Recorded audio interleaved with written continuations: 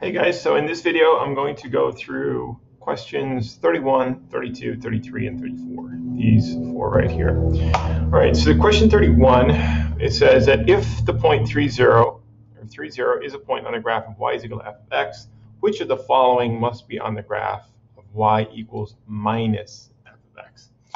All right, well, um, what I'm going to do is I'm going to graph a function that does contain the point 30.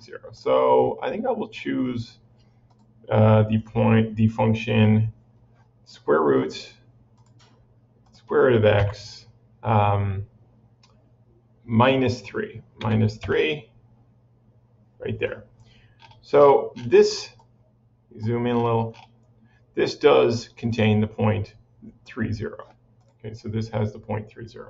And so what we're asked is, if 3, 0 is a point on the graph of y is equal to f of x, which of these four points must be on the graph of y is equal to minus f of x? Well, the graph of y is equal to minus f of x, this minus sign will have the effect of flipping my function across the x-axis.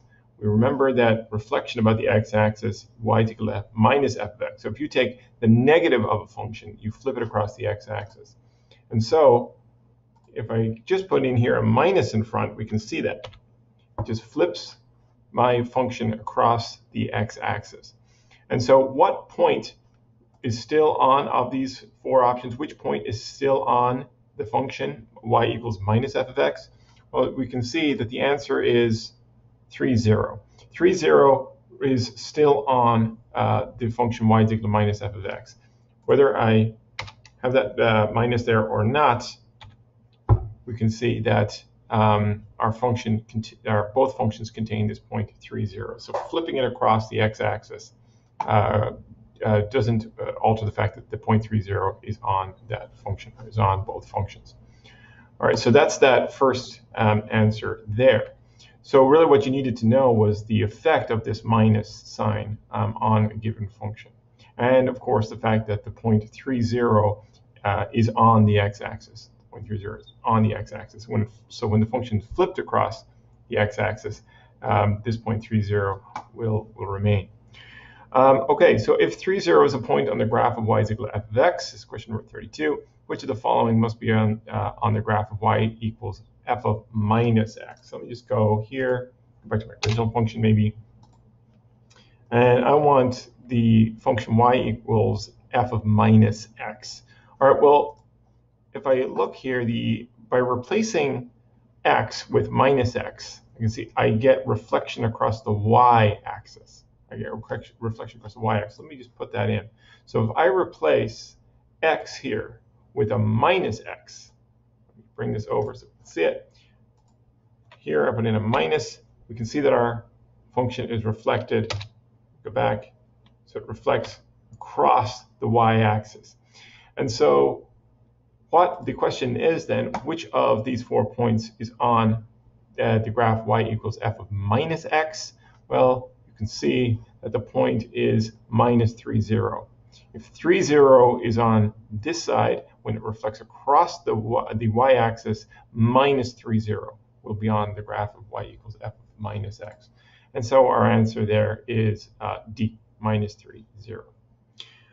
Okay, number 33. If the 0, 3 is a point on the graph of y is equal to f of x, which of the following must be on the graph of y equals 2 times f of x? All right, well, 0, 3 is not on this um, function here. So let me just go back to this function, and I want 0, 3, so that's this point right here to be on uh, my function. So I'll just put in plus 3. That will shift my uh, function up three places. So there we go. And so now we can see that uh, 0, 3 is part of this function, the function root x plus 3. And so that, that is my y is equal to f of x. So y is equal to 2 times f of x. What, what this 2 does is it takes any point on my original function and it multiplies the y coordinate of that point by 2. Okay, so I'll say it again. The effect of this 2 here out in front of my function is to take any point that's on my original function and multiply the y coordinate by 2. So if I look at, I have the point 0, 3 right there. The y coordinate of that point is 3.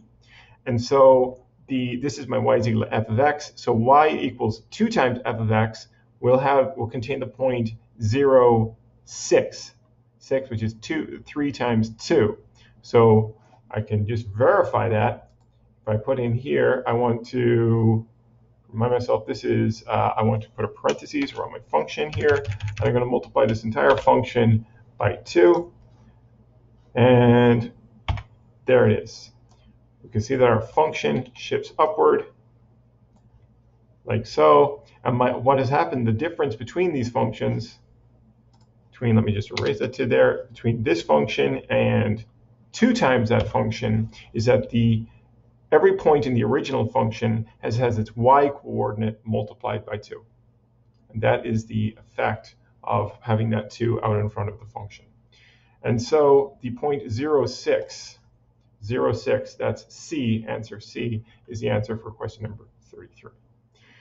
All right, last one, question number 34. If 3, 0 is a point on the graph, well, 3, 0, so I'm going to go back to uh, my original function, y is uh, the uh, root x, let's get rid of my parentheses as well, root x minus 3, because I know that that contains the point, bring it up, I know that that contains the point uh, 3, 0.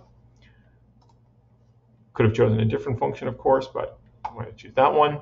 So if 3, 0 is a point in the graph y is equal to f of x, which of the following must be on the graph of y equals 1 half f of x? Well, so question 34 is, is like question number 33. Again, the effect of this half out in front of the function, or multiplying the function by this half, is that you multiply all of the points in f of x, the y coordinate of those points, by 1 half. Well, the y coordinate, um, one point that we have is 3, 0, of course, and the y coordinate of 3, 0 is 0. And so if I take 1 half um, of the y coordinate, that is 0 multiplied by a half, which is still 0. So I would expect that if I multiply this function, root x minus 3, by a half, that the point 3, 0 will still be on that function because multiplying the y coordinate 0 by uh, a half will is still 0. So let me just confirm that for myself. Going to multiply my function by 0.5, and there we have it. So you can see that my function has gotten flatter, but it still contains that 0.30. Why? Because we the original function contained the 0.30. The new function multiplies the y the y coordinates of all the points of the original function by one half. Zero times a half is still zero. So that's that point. So that 0.30 is still there. Uh, and so the answer for question number 34 is A. 0.30 is still on um, y equals 1 half of x. And that's those four questions complete.